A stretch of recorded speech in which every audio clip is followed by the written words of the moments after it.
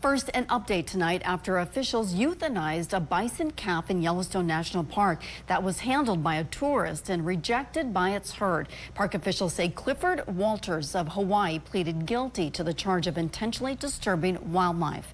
This picture shows Walters picking up the newborn bison calf by the Lamar River on May 20th. The calf was separated from its mother when the herd crossed the river as it struggled. Walters pushed the calf up from the river and onto the roadway. The calf started following people and cars and attempts to reunite it with the herd were unsuccessful. Park rangers had no choice but to put it down. Walters will pay more than $1,000 in fines and community service payments.